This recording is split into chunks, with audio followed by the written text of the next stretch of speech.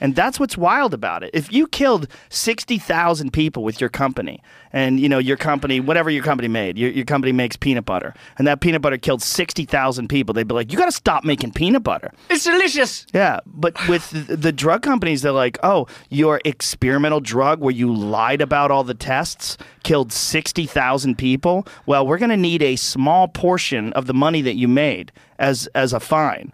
Like Vioxx.